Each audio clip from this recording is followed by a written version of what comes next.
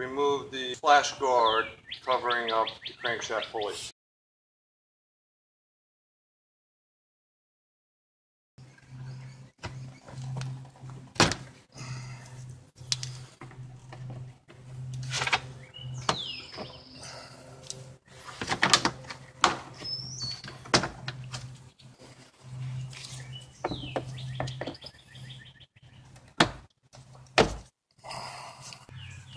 Use an electric impact driver see if I, I could generate the torque to get that pulley bolt off. If it doesn't come off, then I have to come up with another technique. We could try doing bump start, where I'll attach this 19 millimeter socket to a breaker bar and secure the handle end to the ground and just blip the engine over and see if that generates a torque to take that bolt off.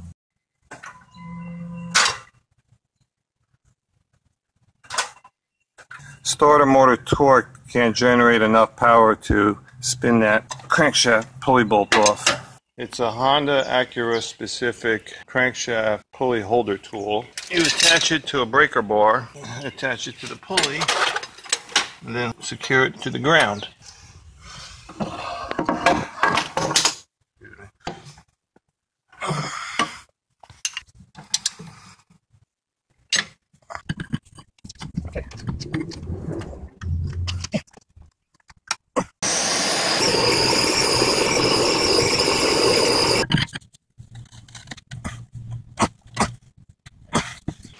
Crankshaft pulley bolt on a Honda is very uh, difficult to remove. It's on pretty tight. A standard 19 millimeter socket just won't do it. So I bought this other 19 millimeter specially designed for taking off pulley bolts on a Honda. It has three times the mass of a 19 millimeter impact socket. Let's see if this works taking off the pulley bolt.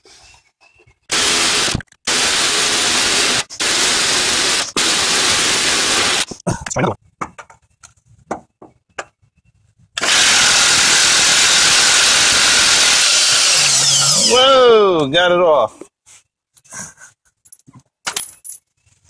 I have two half inch electric impact drivers. I switched to the second one because the first one was running out of battery juice. That did it. Now we have to remove the accessory belt over here.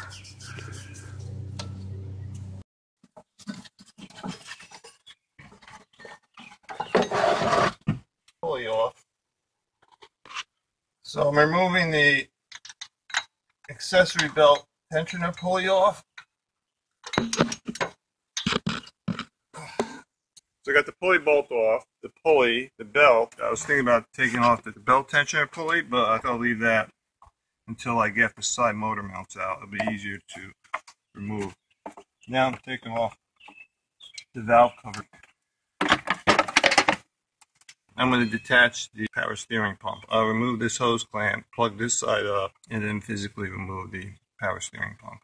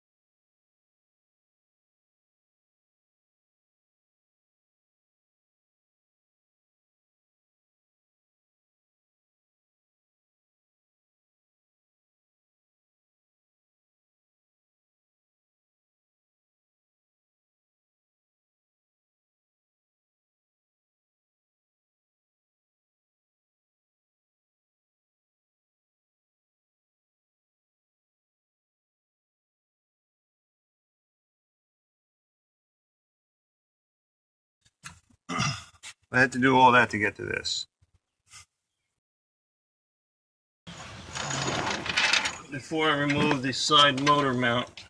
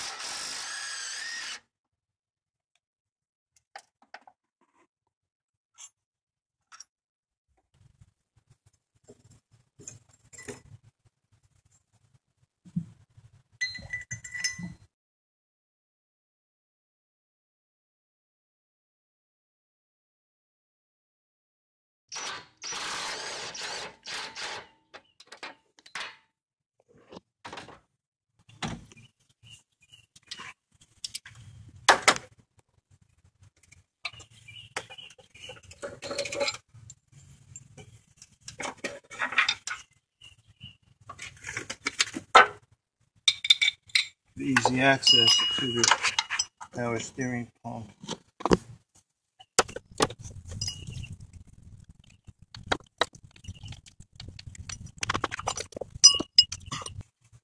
Now I'll take this side motor mount off.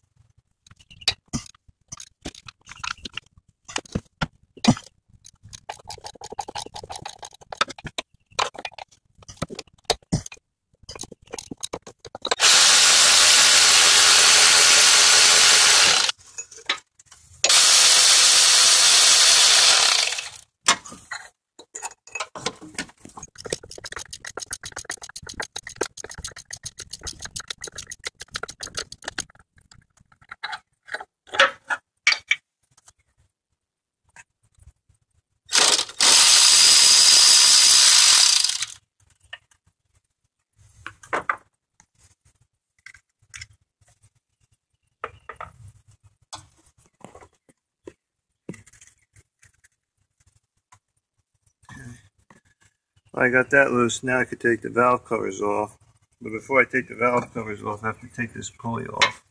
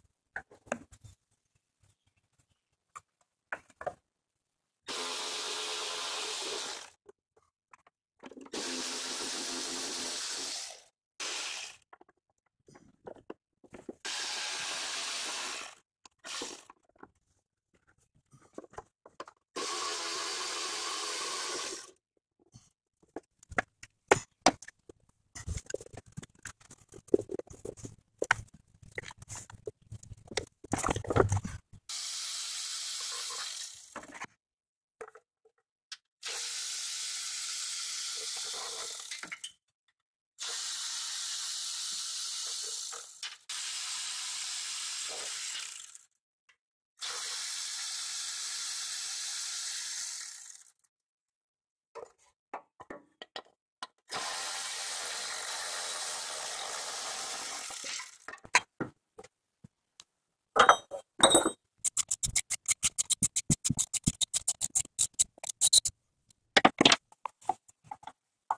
reinserted the crankshaft pulley bolt so I can rotate the engine to top dead center until this little arrow over here on that pulley matches the arrow up there. And I put little blue lines or markers to identify it easier visually.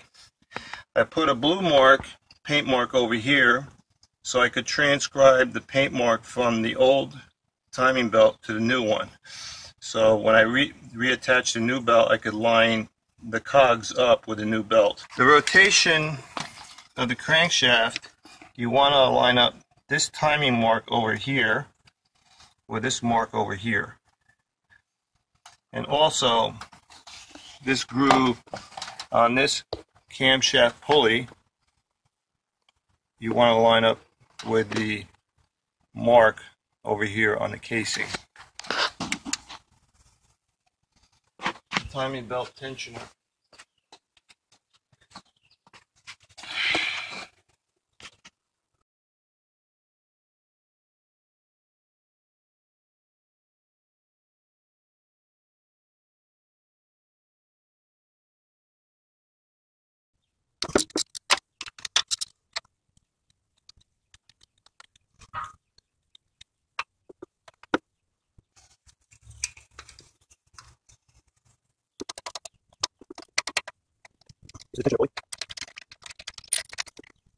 And this is the guide pulley.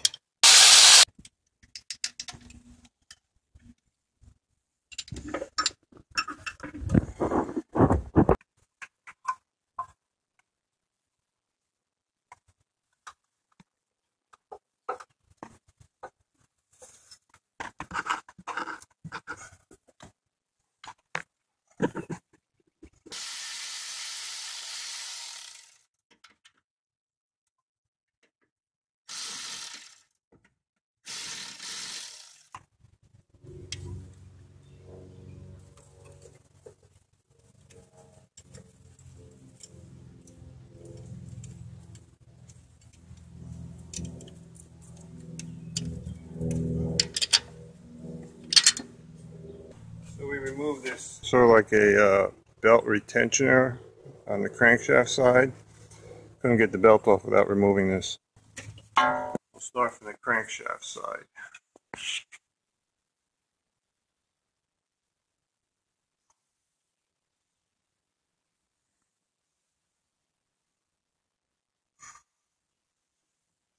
Just go all the way around.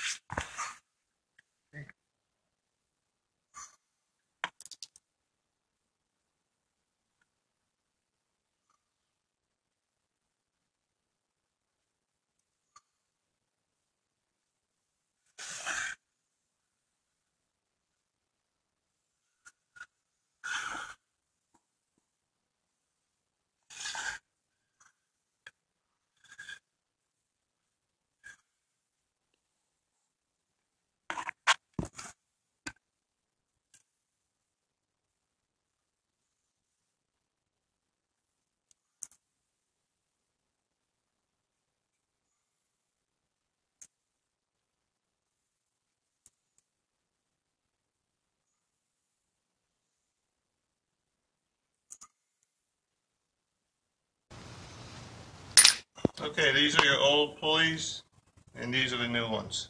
So this new water pump has five mounting points. These three holes were for your side motor mounts.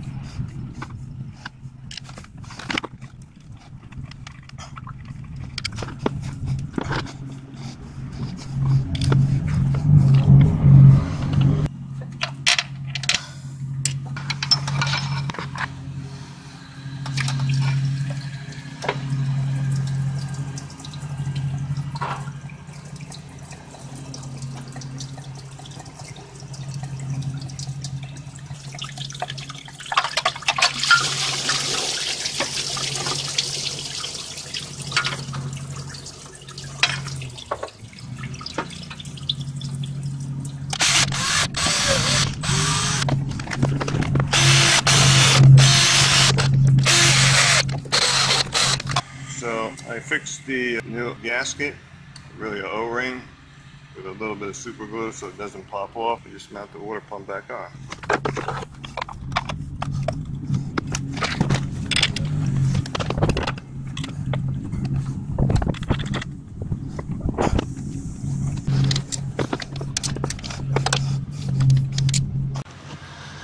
The belt tensioner, when this is fully extended, provides variable tension on the belt as the belt loosens. So in order to mount a new belt, this pin, this tensioner pin has to be recessed or pushed back into this tensioner. And you do it with a vise, or if you're lucky, you could try it with C-clamps.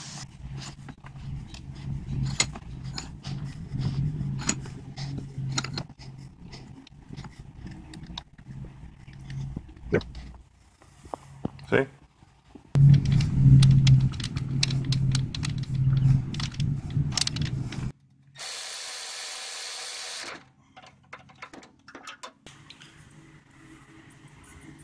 That has to get transferred. Put some grease on it.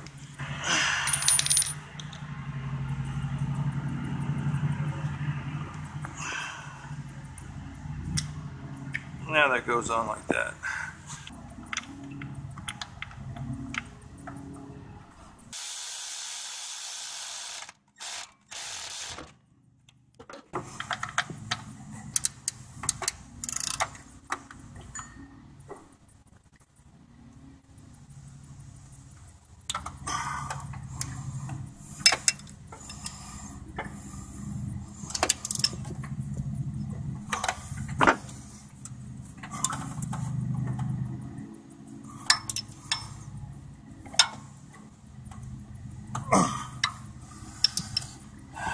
Now we're ready to mount the timing belt.